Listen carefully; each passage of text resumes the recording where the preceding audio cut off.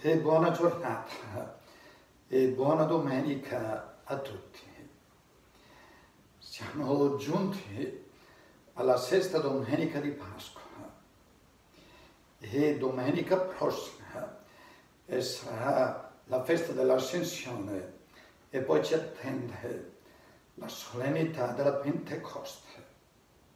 Come tutti sapete però, a partire da lunedì 18 maggio è data la possibilità eh, di partecipare alle celebrazioni liturgiche, eh, sia pure a determinate condizioni eh, che cercheremo oltretutto di spiegarvi durante la settimana che ci sta innanzi. Proprio per questo?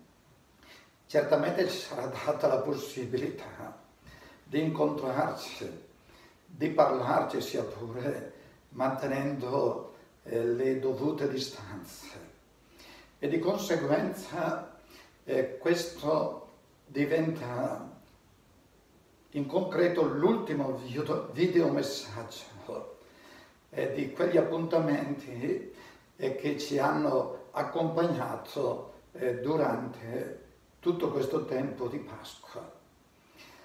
Videomessaggi che volevano essere un piccolo segno di vicinanza, di presenza, non soltanto da parte mia, ma anche da parte di tutti gli altri sacerdoti delle nostre parrocchie. E stavo domandandomi, eh, in questo ultimo videomessaggio, eh, che cosa posso lasciare in eredità alla mia gente. E leggendo il Vangelo di questa sesta domenica di Pasqua ho trovato eh, una parola che mi pare molto significativa. Gesù, ecco che dice ai suoi discepoli, e quindi dice anche a noi oggi, non vi lascerò orfani, verrò da voi gli apostoli hanno sentito Gesù annunciare la sua morte e il suo ritorno al Padre. E proprio questa notizia li ha scombussolati. E Gesù dice, non abbiate paura, non vi lascerò orfani, verrò da voi.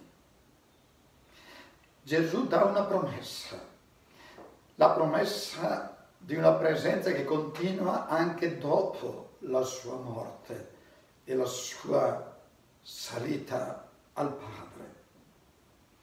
È una presenza che continua, però nello stesso tempo in questo Vangelo fa anche capire che è una presenza diversa.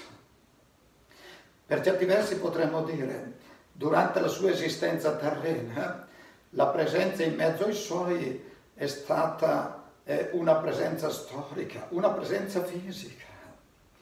Adesso la sua presenza diventa una presenza che potremmo definire spirituale. Tutte le volte che sentiamo questo aggettivo spirituale, eh, la nostra mente molto facilmente identifica spirituale con qualche cosa di evanescente eh, con qualche cosa eh, di piuttosto vago. Ora invece, per il Nuovo Testamento, parlare di spirituale significa fare riferimento a qualcosa di molto concreto, perché spirituale vuol dire, vuol dire nello Spirito Santo, nello Spirito del Cristo risorto. Gesù ci dice in pratica che d'ora in poi Lui sarà presente in mezzo a noi, ma sarà presente nello Spirito, attraverso lo Spirito, attraverso lo Spirito Santo. E non si tratta quindi di una presenza, eh, ripeto, inferiore, più debole, più vaga rispetto a quella di prima, ma anzi, per certi versi è una presenza ancora più intensa Tanto è vero che la presenza di Cristo durante la sua esistenza storica era quella presenza di uno che ci sta accanto. La presenza invece di Cristo nello Spirito Santo è una presenza interiore.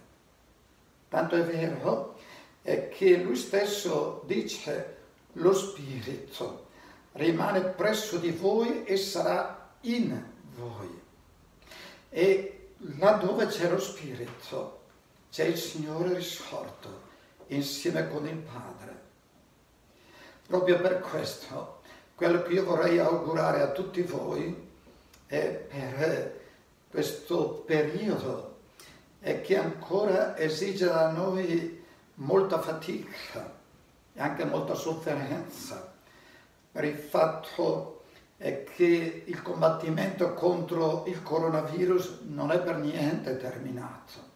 Dovremo continuare ad avere quindi questa forza che viene dall'alto.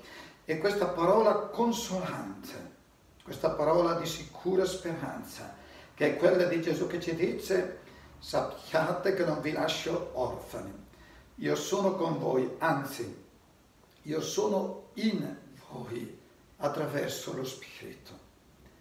Proprio per questo io auguro a tutti voi di poter fare questa esperienza, l'esperienza di ciò che Gesù in un altro passo eh, ci ha, direi, presentato, quando appunto ha detto, eh, ecco che se qualcuno mi ama, noi verremo a lui e prenderemo dimora presso di lui. Usa il plurale per dire che è lui nello Spirito insieme col Padre. Ecco, questo è il mio augurio, che tutti voi e tutti noi possiamo diventare il tabernacolo della Santa Trinità, laddove abita la Trinità. È una presenza, ripeto, di grande consolazione, di forza e di speranza. Ciao a tutti.